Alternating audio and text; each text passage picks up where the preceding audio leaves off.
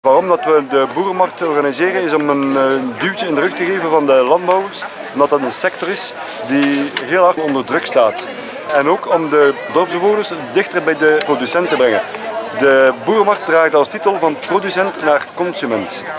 Alsjeblieft. Een draagtas van de gemeente.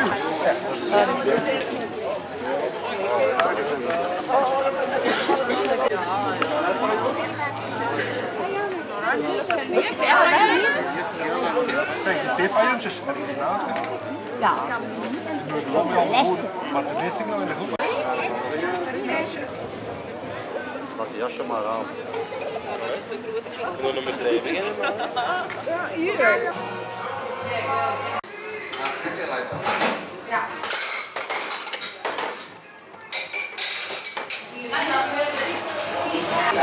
Het was een vrij groot succes, heel wat bezoekers gehad. Nu is de bedoeling dat er, eh, de landbouwers zich aangesproken voelen en dat we volgende maand vier kramen kunnen zetten dat het kerkplein vol of bijna vol zal geraken.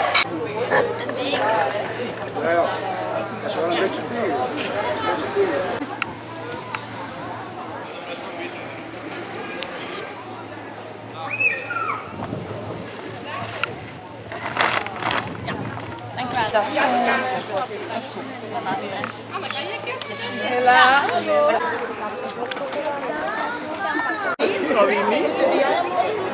hebben voor de eerste keer een boerenmarkt georganiseerd. Het was een overweldigend succes. Eh, we hadden het opgepakt als eh, dus landbouwers promoten.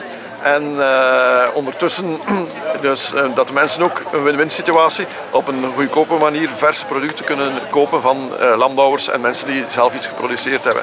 Het was in die zin een succes dat we 200 eh, draagtassen hadden vanuit de gemeente die we gratis aan per gezin uitdeelden. Waar dan ook kortingsbonnen of andere bonnen van de horeca in zaten.